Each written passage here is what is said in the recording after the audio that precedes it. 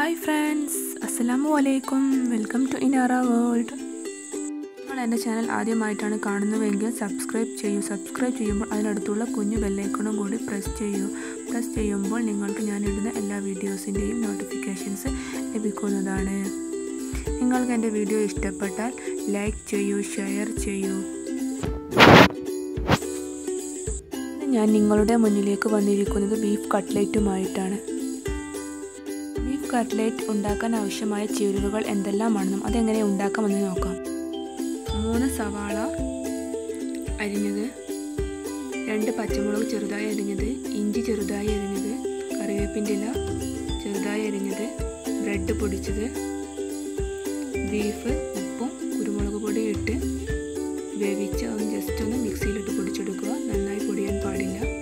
ഉരുളക്കിഴങ്ങ് മൂന്നെണ്ണം വേവിച്ചത് വേവിച്ചുടച്ചത്. ഒരു മസാലപ്പൊടി അര സ്പൂൺ കുരുമുളക് പൊടി ആവശ്യത്തിന് മഞ്ഞൾപ്പൊടി കാൽ ടീസ്പൂൺ ആവശ്യമായ ഉപ്പ് രണ്ട് കോഴിമുട്ട. സ്റ്റവ് കത്തിച്ച് അതിലേക്കൊരു പാൻ വെക്കുക. പാൻ നന്നായി ചൂടായതിനു ശേഷം അതിലേക്ക് അല്പം വെളിച്ചെണ്ണ ഒഴിക്കുക. വെളിച്ചെണ്ണ നന്നായി ചൂടായതിനു ശേഷം അരിഞ്ഞു വെച്ചിരിക്കുന്ന സവാള ഇട്ട് നന്നായി വഴറ്റുക. സവാള എളുപ്പത്തിൽ വഴന്നു വരാൻ വേണ്ടി അല്പം ഉപ്പ് ചേർക്കാം.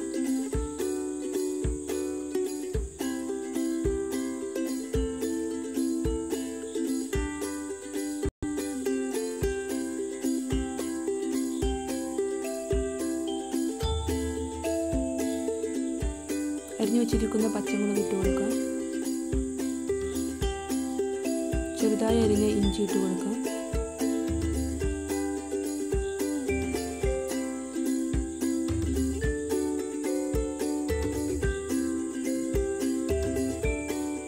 അരിഞ്ഞു വെച്ചിരിക്കുന്ന കറിവേപ്പിന്റെ ഇട്ട് കൊടുക്കാം.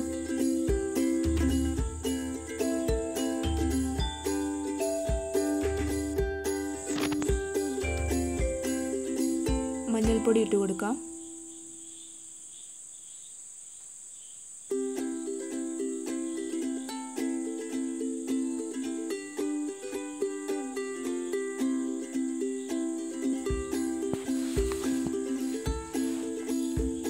എരിവിന് ആവശ്യമായ കുരുമുളക് പൊടി ചേർത്ത് കൊടുക്കുക.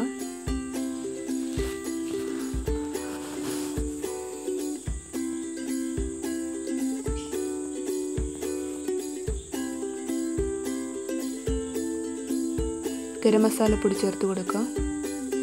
എന്നിട്ട് നന്നായിട്ട് ഇളക്കുക.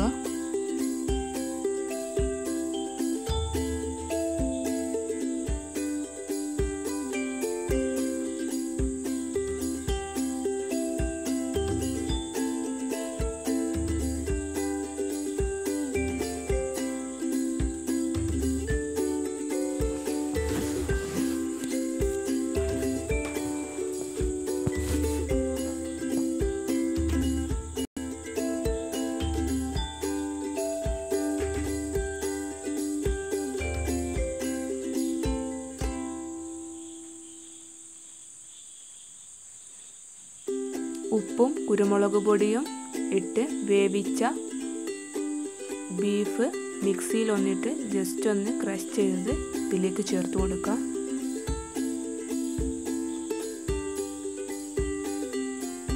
ബീഫ് നന്നായിട്ട് പൊടിഞ്ഞു പോകാൻ പാടില്ല. ജസ്റ്റ് ഒന്ന് മിക്സിയിൽ കളിക്കാൻ മാത്രമേ പറ്റുള്ളൂ. ഇനി ഇതിലേക്ക് മൂന്ന് ഉരുളക്കിഴങ്ങ് വേവിച്ച് നന്നായി ഉടച്ചത് ചേർത്ത് കൊടുക്കുക. എന്നിട്ട് നന്നായിട്ട് ഇളക്കുക.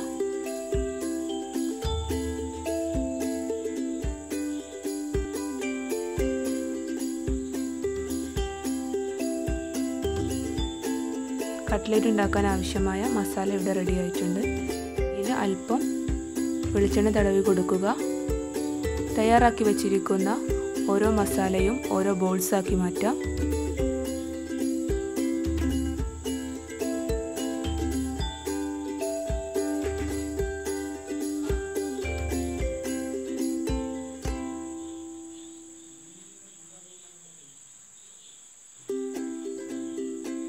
ബോൾസ് ആക്കിയതിനു ശേഷം ഇതുപോലെ കട്ട്ലറ്റിന്റെ ആകൃതിയിൽ നമുക്ക് കൈ ഉപയോഗിച്ച് പരത്തിയെടുക്കാവുന്നതാണ്.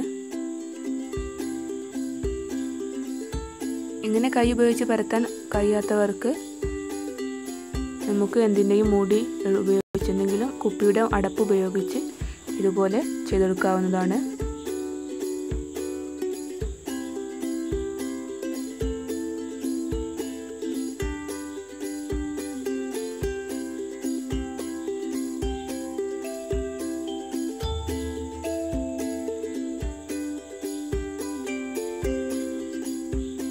ബാക്കി എല്ലാ മസാലകളും ഇതുപോലെ നമുക്ക് ചെയ്തെടുക്കാം.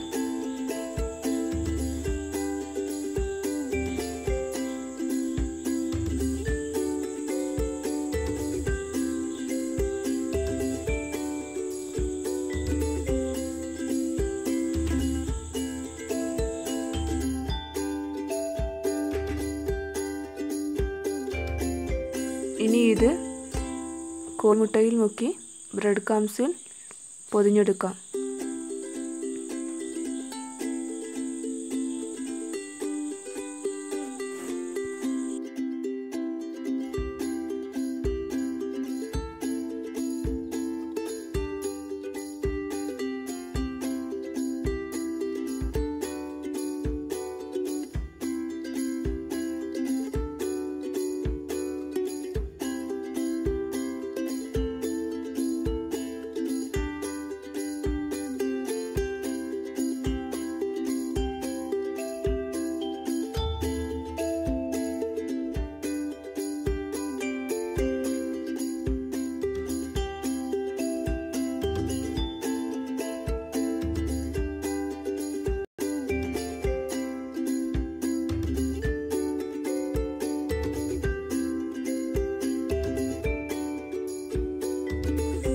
കട്ട്ലേറ്റ് പൊരിച്ചെടുക്കാം.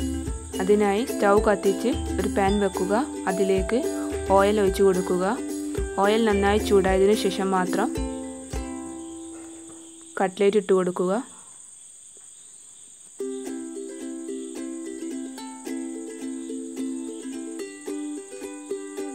ഒരു വശം നല്ല ഗോൾഡൻ നിറമായി കഴിഞ്ഞാൽ മറിച്ചിട്ട് മറുവശവും ഗോൾഡൻ നിറമാകുന്നത് വരെ വറുത്തെടുക്കാം.